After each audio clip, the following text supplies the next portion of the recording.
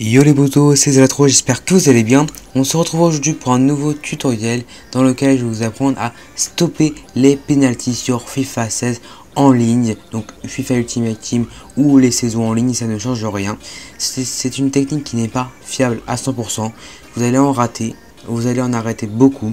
Moi je peux vous dire que j'en ai arrêté à peu près à 70% des cas. Donc 7 sur 10 penalties à peu près. Donc c'est une technique qui est vraiment très très utile, c'est moi qui l'ai trouvé.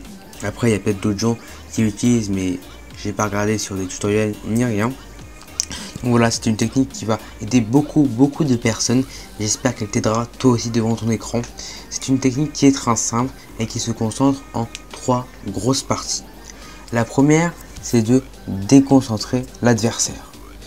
Donc évidemment, il va falloir essayer de gêner au maximum l'adversaire qui va tirer son penalty. Donc vous allez faire, d'abord vous allez aller sur un côté. Je vous conseille d'aller sur le côté gauche.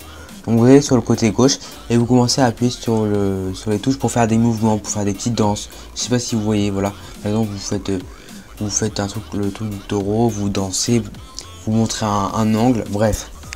Comme ça, ça va bien gêner l'adversaire. Comme ça, il va se dire, je sais pas où je vais tirer, ça va détourner son attention et c'est ça qu'il faut faire en premier lieu.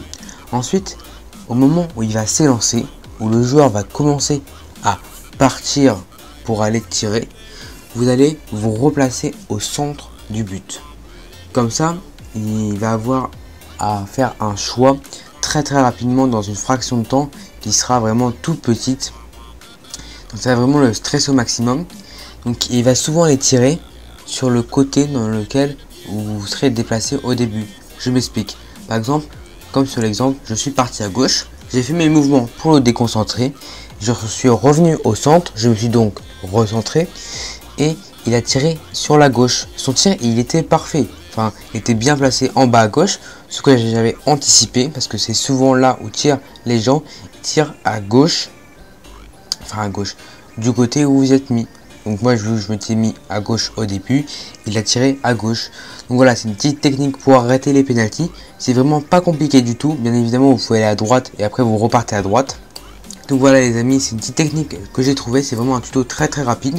Si vous avez aimé ce tuto, n'hésitez pas à liker, à mettre un maximum de commentaires sur ce.